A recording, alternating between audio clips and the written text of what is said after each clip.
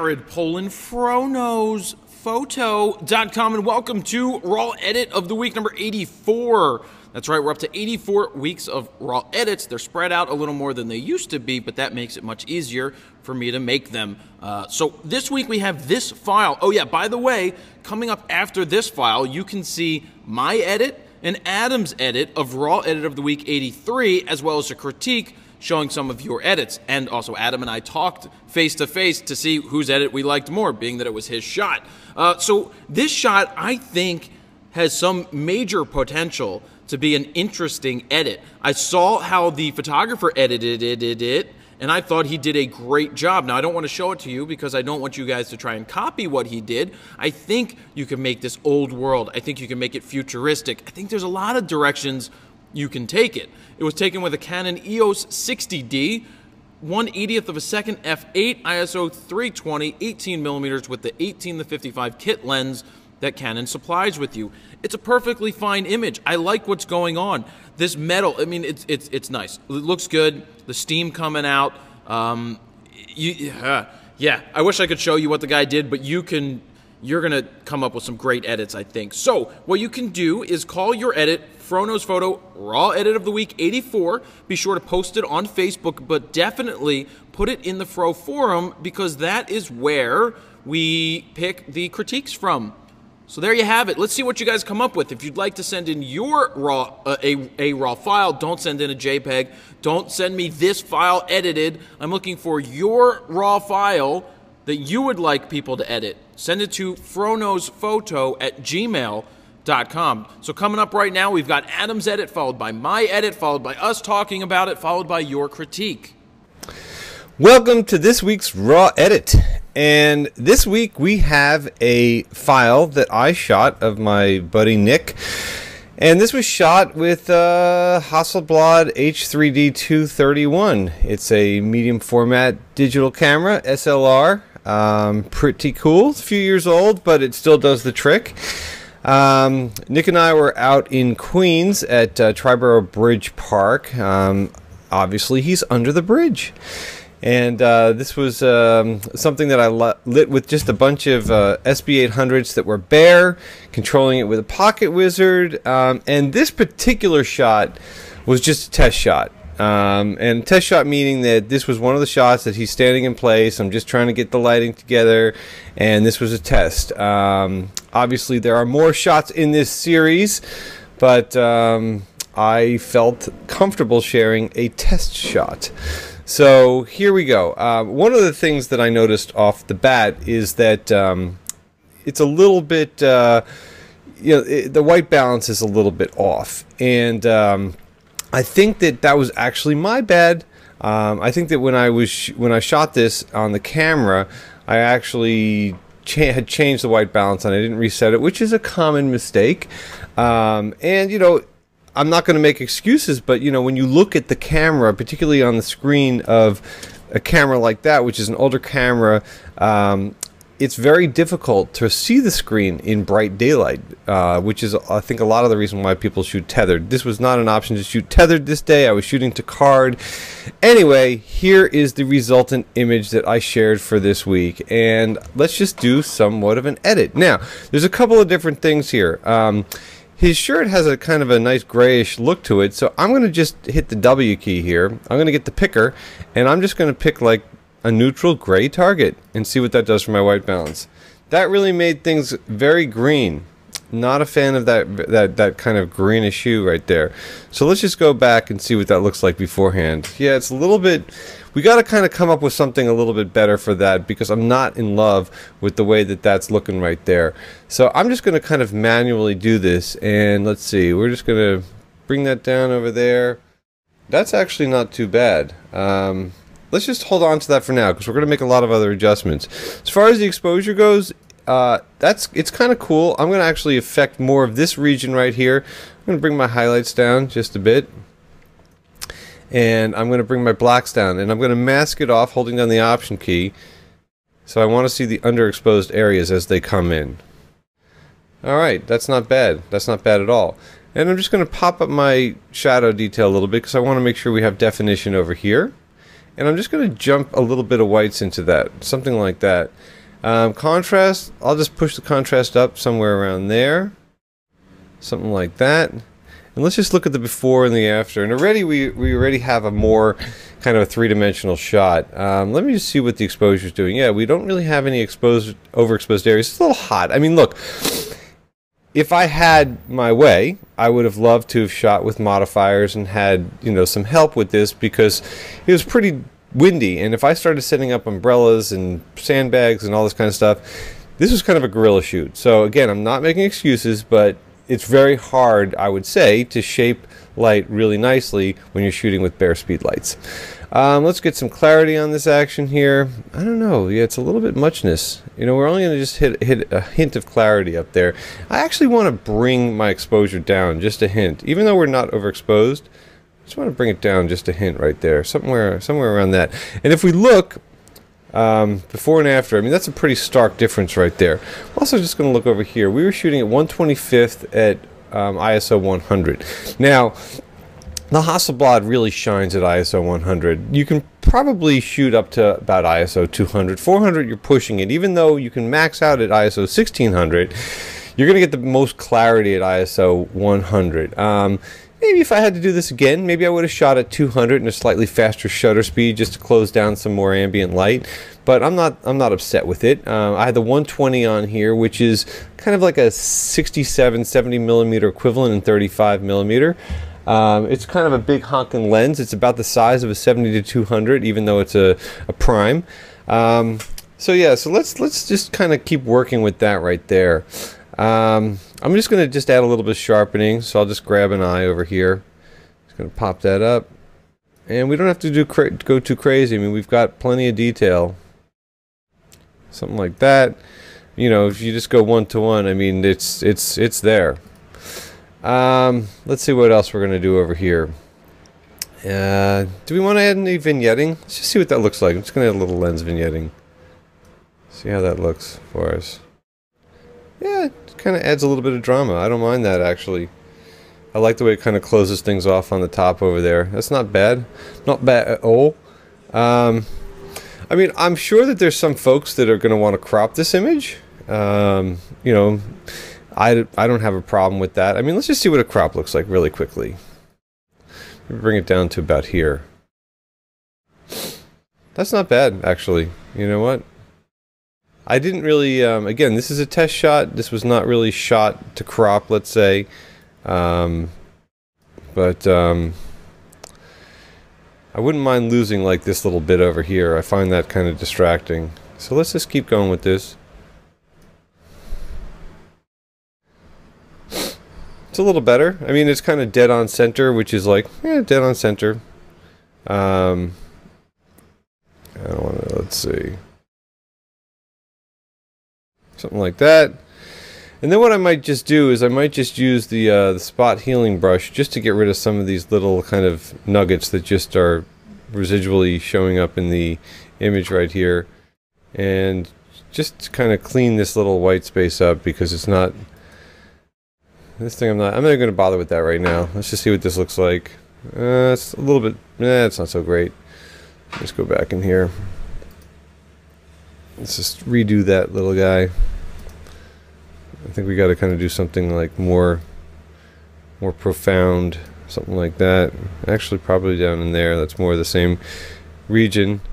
And this one, I think I got to just make that one a little bit bigger. Let's just close that up, see how this looks. It's still not quite right. I mean, this is something that I would probably want to go into Photoshop with or something and just use the healing brush just to kind of clean it up. Because um, it would, it would be that important to me. The problem is that this is kind of like a grayish color, and then if I basically use like the brush tool, let's say I go into like to dodge this thing up a bit, um, it's going to change the, uh, let's just see the overlay on that real quick. It's going to change this color right here. You know, you're going to see like that kind of white spot and yeah, it doesn't work. Anyway, here's what we're going to do. We're going to go back into this tool. We're going to reset it, get rid of all those kind of like little guys that didn't work out. And uh, let's see. Yeah, there's got to be a way I can do this. I'm just gonna keep keep going in and cropping it. Why not? We'll just take her down just a little bit more there. Sorry, Nick. And let's see what that looks like. Not too bad. Not too bad. I can live with that. That's a lot better, actually.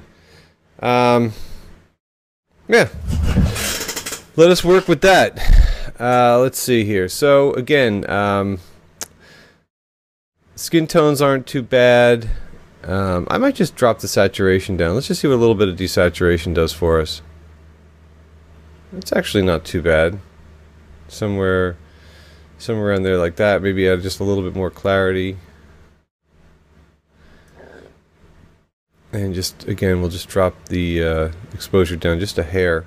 So sensitive. Um, let's see. Something like that. Maybe I'll just split the difference on the saturation right here. Alright, so that's what we have going on right here. And I'm just going to maybe just move this thing over just a hair. Let's see how that looks. That's not too shabby, actually. I can live with that. Um, yeah, so let's save that as our as our snapshot one. And uh, you know, I'm kind of looking at this thinking it might be black and white. Yeah, there we go. That's looking pretty good as a black and white. I had a little bit more contrast in there. Not too crazy. I don't want to lose too much detail. Um, still think we could drop this down just a hair. Not too much. Something like that. I'm going to add a little bit of shadow detail because I still want to maintain the separation over here. Um, yeah, that kind of that kind of looks cool. That's that kind of works a little bit well for me. I just want to see what a little bit of toning does for me over here. And um, I'll just I'm just going to use one of my presets over here. That's not bad. I could live with that. That's not bad at all. I don't mind that at all as a black and white. So I'm going to save that as uh, snapshot 2. Um, let's see. Create. There we go.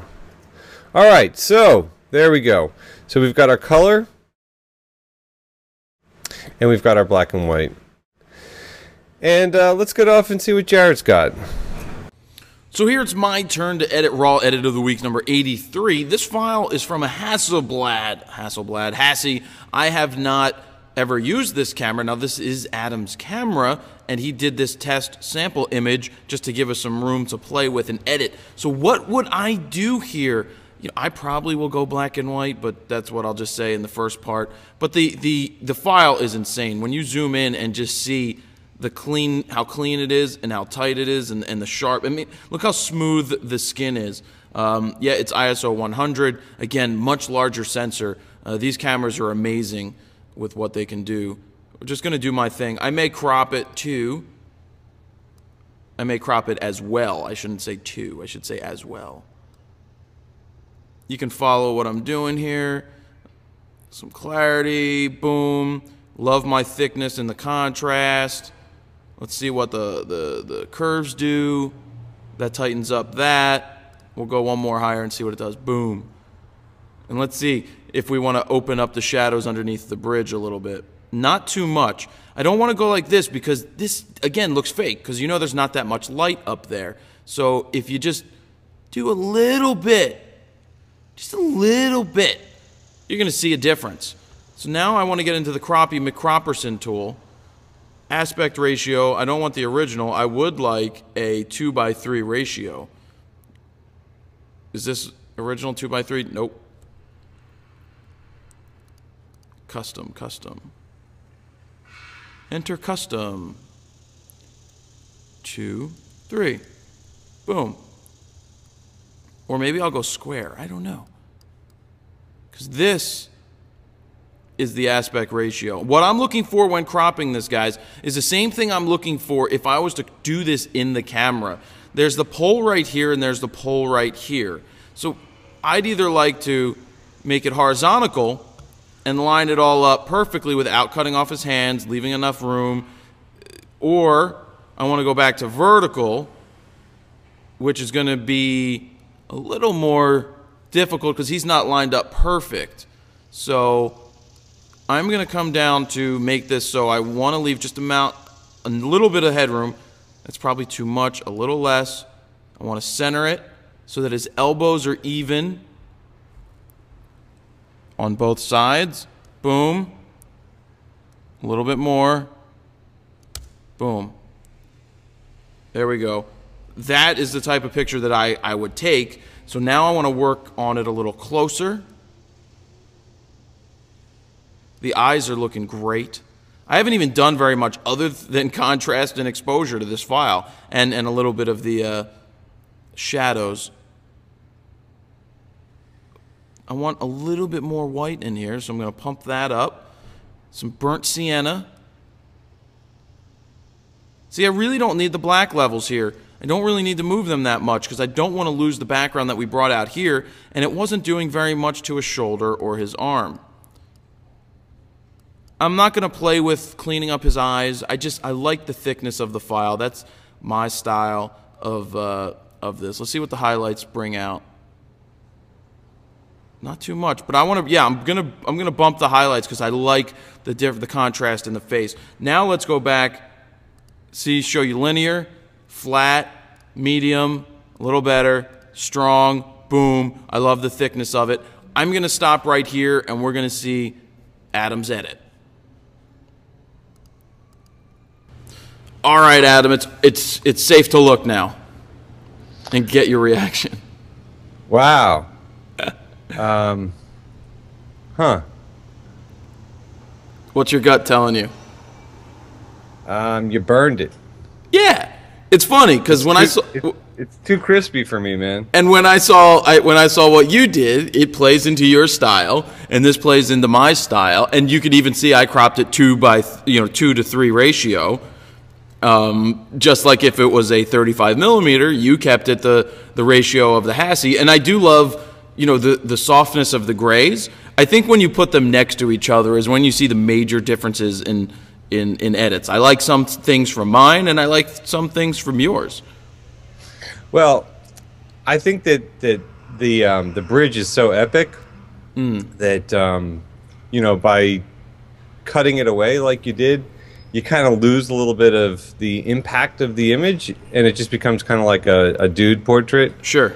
Um, so, you know, like I was saying when I did this image, this is a test image, and for people that that don't know what that is, it's basically an image where you just get your light set up, and you just have your model or your assistant or somebody stand in, so that you can kind of just kind of see where you're at. You know, this was not the resultant image. This is not what you know we were going with here, but. Um, you know, I'm a little bit more proprietary with my images now, and I'm not really dying to share like a final with Sure. the entire planet.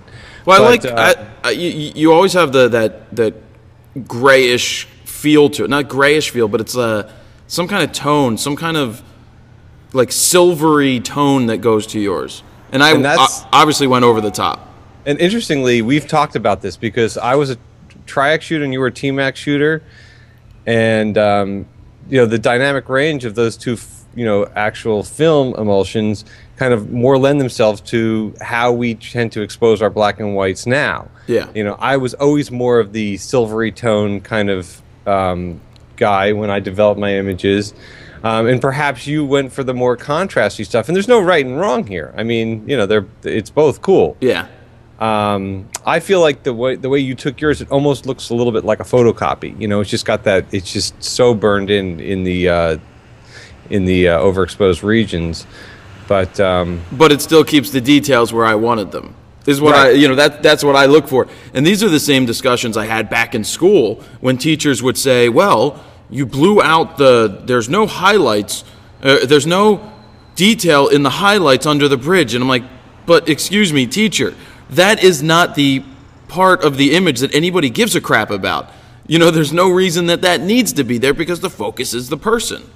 But I think that the ribs of the bridge, of the underpinnings of the bridge, and the struts of the bridge help to frame the subject in this case. And I, I discussed that in mine, and I also did leave the underside in there. I actually brought the shadows back. I used the shadows to bring it back, but not too far.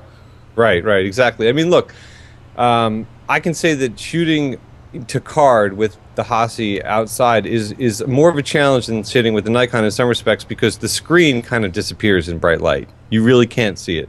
You need to uh, you need to put a black cloth over your head. I absolutely do. um, so you know, there's there's there's certainly challenges. I mean, I would I I talked about that a little bit in my video.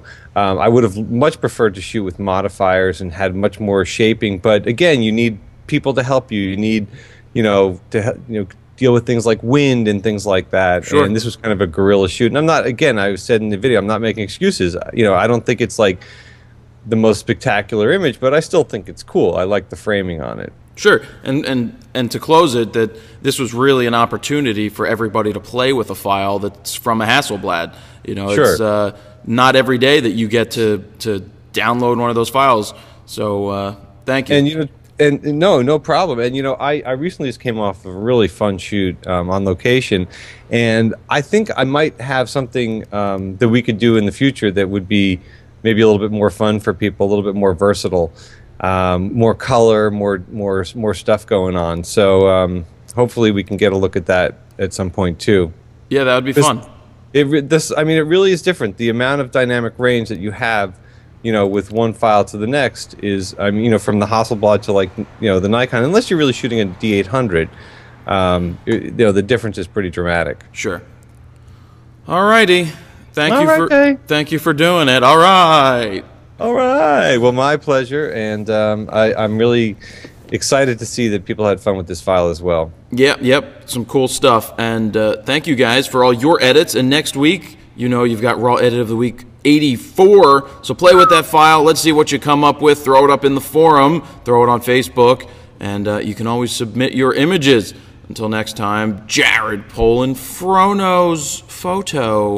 FroKnowsPhoto.com. See ya. Wow. Just as my dad called. so I've gone ahead and I pulled out some of your edits. I hope you enjoyed watching Adam and I edit the file and also talking, discussing it.